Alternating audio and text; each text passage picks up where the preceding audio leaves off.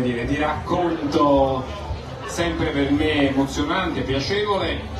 perché come molte volte dico, tu puoi fare il parlamentare molto tempo, io l'ho fatto anche abbastanza, ma poi quello che ti resta sono come si dice le opere, perché hai fatto una, due, tre, quattro legislature e poi nemmeno una legge, certo, sei stato contento ma non hai prodotto la legge di orientamento, la riforma dell'agricoltura, ma anche il no agli OGM e poi da Ministro dell'Ambiente anche la riforma che ha dato all'Italia l'energia solare e il fotovoltaico sono tra le cose di cui io sono orgoglioso. Ma chi mi rese molto orgoglioso era l'ex presidente nazionale di Coldiretti, un tale Roberto Mongallo che vedo qui, che quando fu eletto presidente di Coldiretti andai a trovare, non lo conoscevo, la prima cosa mi disse, se guarda, io sono agricoltore per colpa tua, perché lui è ingegnere se non c'era legge di orientamento avrebbe fatto l'ingegnere, turinese, quindi sarebbe stato sicuramente in qualche settore dell'automotive probabilmente, invece con legge di orientamento lui decise di fare vendita diretta, di aprire cose, quindi io trovai un presidente giovanissimo davanti con diretta, era trentenne all'epoca, adesso è fatto vecchietto ma non so quanti anni ha, ma sempre sembra semi giovane e eh, devo dire che eh, l'idea che dei giovani che sono avvocati, ingegneri, architetti, eccetera, decidono di mettere aziende agricole, quindi ovviamente lui aveva ereditato anche un'azienda agricola, ma tante persone se non riuscivano a creare un valore aggiunto che non fosse solo la produzione base, ma la trasformazione, l'accoglienza, l'ospitalità, tutte le altre cose, queste hanno reso molto più eh, redditizia l'attività agricola. In realtà il concetto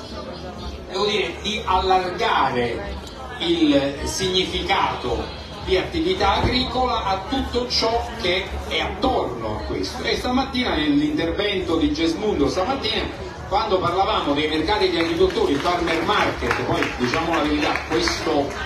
villaggio è un'estensione di quel concetto dei farmer market che siano arrivati i farmer market a fatturare nell'insieme 5 miliardi di euro all'anno in Italia con migliaia di agricoltori che vendono direttamente è una cosa che io non avrei dato per scontato oggi. Poco fa eh, i miei collaboratori della rete Codice hanno detto facciamo un post, io il post che ho fatto è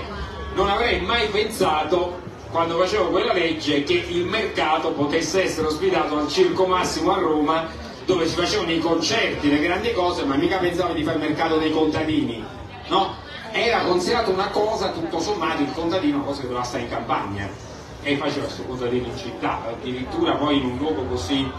E invece il lavoro è andato avanti e devo dire che Granieri è un altro che mi ha dato soddisfazione quando ha pensato di fare l'olio vicino al Colosseo, di prendere gli olivi in quella zona e fare un olio. Cioè, il concetto è riuscire a sviluppare queste cose ma eh, arrivando al, al, turismo, che è poi l'oggetto di oggi, io poi ne, in un'altra delle, delle, varie vite che ho fatto, ormai da 15 anni io insegno turismo sostenibile alle lauree magistrali di Milano Bicocca, prima, ho cominciato a Milano, Roma Tor Vergata da 12 anni e 4 anni Napoli Federico II. E insegno esattamente itinerari, faccio fare ai miei studenti sono tutti itinerari di turismo, ecoturismo e turismo enogastronomico. E devo dire che avendo la visione di Milano, Roma e Napoli, è una visione bellissima perché la biodiversità di questo paese, di cui parlavamo prima, dalle Alpi, che diceva prima Carmelo, penso, stava dicendo, dalle Alpi a Lampedusa, obiettivamente l'Italia ha un record di ecosistemi. Ma io ogni volta cerco di far fare l'itinerario, per esempio, dal Limone alla Stella Alpina, perché i miei studenti del nord, quelli vicini al Garda, possono raccontare come in Italia è uno dei pochi posti dove in una giornata puoi passare dalla stella alpina al limone del Garda con ecosistemi totalmente diversi che in altri luoghi necessitano di migliaia e migliaia di chilometri per trovare una situazione che va dai 3000 metri d'altitudine, 2005, al al, all'ecosistema di tipo mediterraneo che il Garda ti offre sia, sia sui limoni sia sugli olivi. Quindi esiste questa bellezza, esiste questa ricchezza. Noi siamo un grande paese turistico, ma come io insegno da un po' di tempo, il problema italiano è che in Italia sono arrivati prima i turisti e poi il turismo. Quindi un paese che è abituato che tanti turisti vengono comunque, se ne fotte di progettare i sistemi turistici non so se il linguaggio è troppo duro per i nostri amici dell'agriturismo campano che sono dei signorini, ormai non vogliono usare. Allora, in Italia noi di fatto non programmiamo, non programmiamo niente in generale perché siamo un paese creativo, litigato con l'organizzazione. Però nel turismo in particolare ne abbiamo overtourism, siamo passati all'overtourism, allo zero tourism del, del Covid, adesso ne abbiamo il problema di organizzare almeno minimamente alcune cose. Nelle campagne c'è uno spazio enorme, come giustamente si dice la via di Campagna Amica, eh, di cui mi onoro di presiedere il comitato scientifico, i cammini di itinerari del gusto, sono un esempio delle tante cose che si possono fare ma farle davvero con un occhio alla capacità di usare tutti i nuovi strumenti. Io da due anni insisto perché la nostra sia una sfida eco-digital. Sicuramente noi stiamo facendo una transizione ecologica e gli agricoltori sono un momento strategico, ma noi dobbiamo usare al meglio il digitale, tutte le opportunità che abbiamo attraverso il digitale